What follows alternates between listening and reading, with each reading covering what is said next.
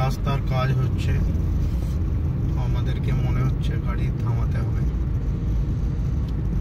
না গাড়ি থামাতে হবে না।